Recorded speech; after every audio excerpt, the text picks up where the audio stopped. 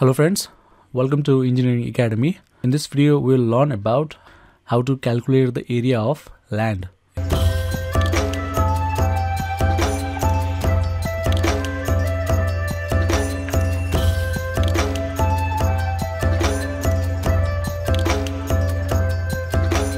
I'll just give you a short description before moving on.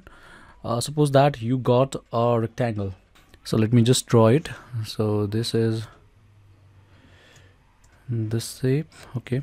So I'm just trying to draw a rectangle somewhere like this okay. So avoid these errors. So what do you do to calculate the area of this rectangle? You simply suppose if this is length if this is breadth you simply multiply length times breadth. That's it okay. And the area that you get is the area of this rectangle. What if you divided this rectangle into two triangles how? Using this line. So if I divide this rectangle into uh, this triangle and this triangle now uh, what you can do to find the area of this uh, rectangle? A I'll just write delta.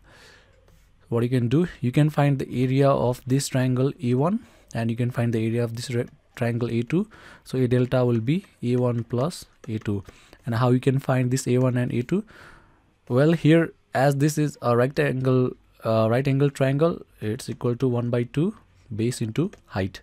Uh, all right. So what i want to say here is that uh, not only in case of a rectangle but in case of other structures as well you can find the area of any structure uh, using this triangulation method. All you have to do is you have to uh, draw imaginary triangles in that shape uh, the shape which area you want to find and you can find the area of those triangles and if we add all the areas of all the triangles you'll get the total area of that structure. So here it's quite easy to find the area of this triangle because it's a right angle triangle. Uh, what if uh, you know this triangle was not like this and it was something like this? So in this situation you need to have uh, three sides of this triangle. Suppose the length of this side is a and the length of this side is b and length of this side is c and you must have studied if you know the length of the three sides then you can find the area of this triangle. So how? First you have to find the semi perimeter s is equal to a plus b plus c by 2 and after that area of this triangle a is equal to so square root s s minus a s minus b s minus c and in this way you can find the area of this triangle okay?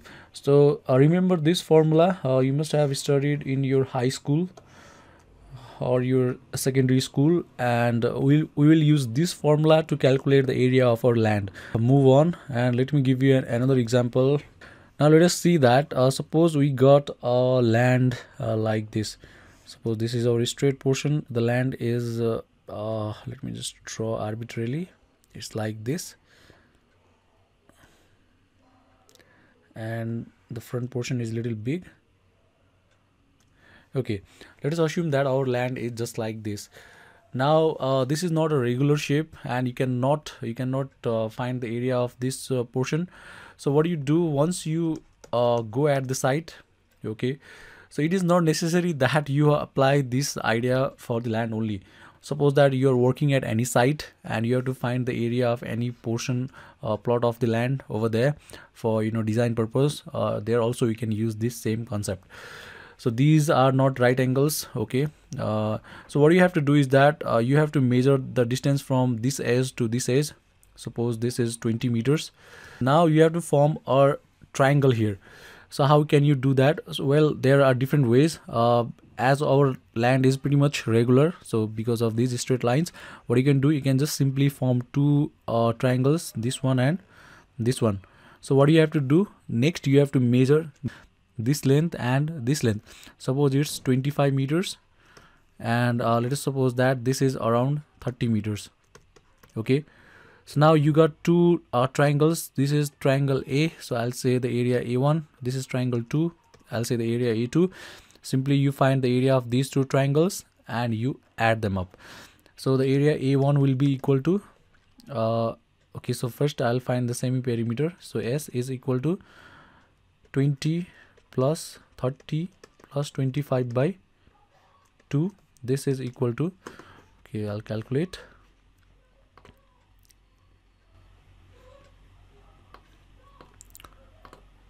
it's 20 plus 30 plus 25 by 2 this is equal to 37.5 5 meter.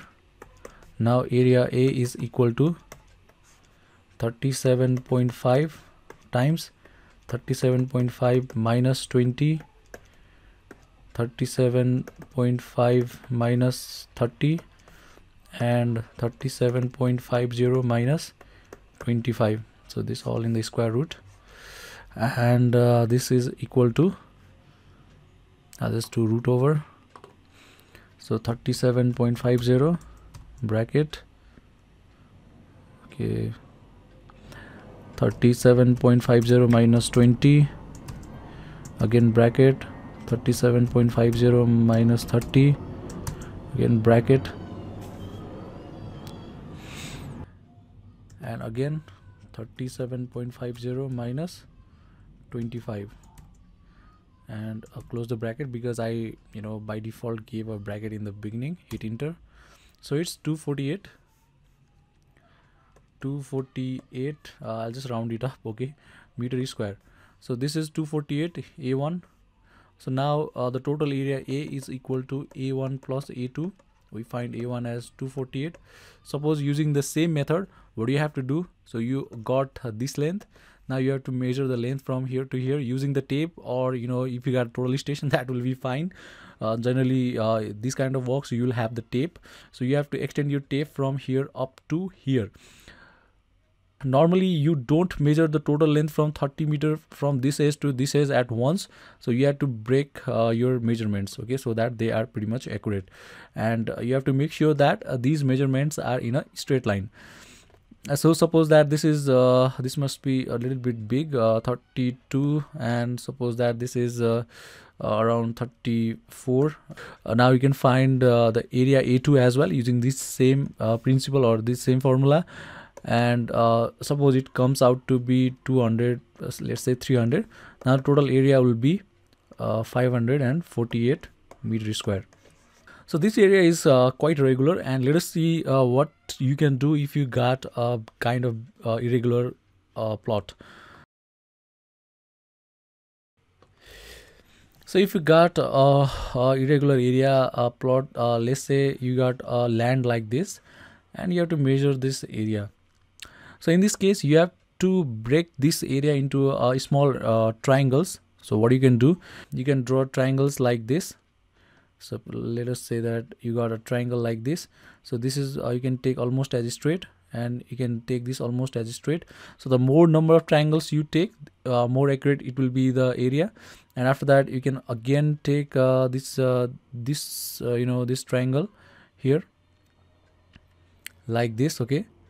And again you can take the triangle like this and you can take this big triangle so you, uh, it is not necessary that you concentrate all the measurements over here. Uh, you can break it down. Uh, you can just take uh, you know uh, triangle like this also. And after that you can take the triangle like this. All you have to do is that you have to make sure that you don't leave any portion of this area and you don't repeat any portion. So you can take the triangles again like this right? And uh, you can take the triangles like this like this okay? So oh, this is not pretty much straight. So you can break it like this. So you have to make the measurements from uh, here up to here and here up to here so that you get pretty much accurate. Yeah this is how you do and you can simply break this area into a lot of triangles. And finally you can find the area of each triangle. Uh, you know manual calculation that will be quite tough. You can use excel sheet to get the calculations right and uh, so using this method you can find the area of your uh, a1 plus a2 there will be a lot of triangles. Area of this uh, land. All right guys so this is how you find the area of land using the tape. I hope this video was helpful. Thank you for watching and take care